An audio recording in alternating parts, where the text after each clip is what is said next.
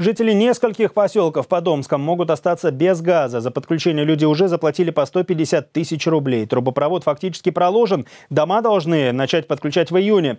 Но внезапно один из участков трассы начали раскапывать посторонние рабочие. Якобы трехкилометровый участок трубы купил житель Сургута и теперь решил продать. В непростой ситуации разбиралась Тахмина Тынысова.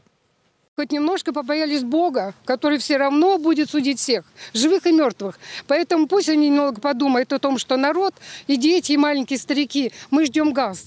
Пенсионерка Нина Варкентин и подумать не могла. Чтобы провести в дом газ, нужно не только заплатить деньги, но и охранять газопровод. В субботу приехали рабочие и начали разрушать уже фактически построенную магистраль. Проще говоря, выкапывать одну из труб, которая находится в земле почти на двухметровой глубине.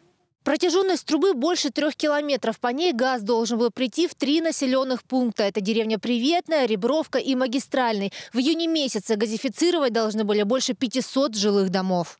На прокладку газопровода ушло более 35 миллионов рублей. 17 собрали жители. Остальное добавила компания строительно-монтажное управление «Сибгазстройдеталь». Она и строила трассу, а теперь оказалось, что одна из труб принадлежит Алексею Шакирову из Сургута, и он якобы решил продать свое имущество.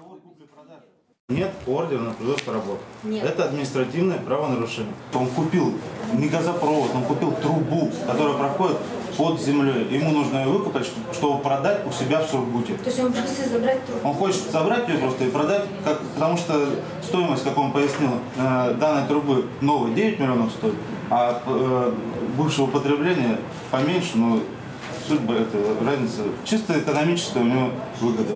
Изначально заказчиком строительства газопровода была фирма «Русантон». После ее банкротства труба сменила несколько собственников и в итоге оказалась у Шакирова. Мужчина, как говорят юристы компании «Сибгазстройдеталь», предложил альтернативу. Он не разрушает газопровод, а за это у него покупают трубу за 5 миллионов рублей.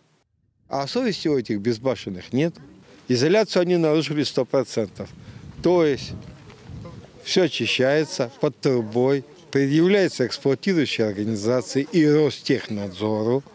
Ростехнадзору. Значит, они смотрят визуально. Если только изоляция, мы восстанавливаем, проверяем, по новой засыпаем. Где-то миллиона полтора это все обойдется. Потому что пленка стоит 200 тысяч тонн. Как утверждает директор компании «Сибгастройдеталь», у них есть все документы, которые доказывают, труба всегда принадлежала им. Чтобы защитить свои интересы и интересы жителей, фирма обратилась в прокуратуру и готовит иск в суд. Тахмина Инысова, Александр Рябуха. Новости здесь, Омск. Нам удалось связаться с Дмитрием Сидоровым, это представитель Алексея Шакирова. Он, в свою очередь, уверяет, что его клиент приобрел трубу как частное лицо, и у него есть все необходимые документы, которые доказывают, что участок газопровода в Омске принадлежит именно Шакирову.